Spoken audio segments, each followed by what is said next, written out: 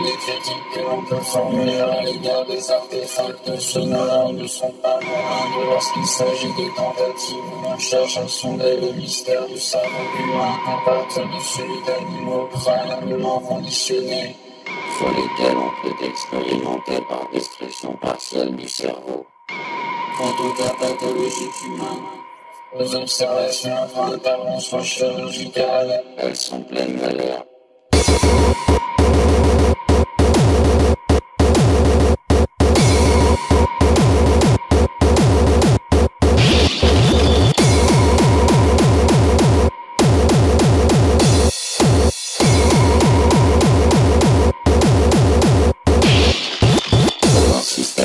Partiellement détruit.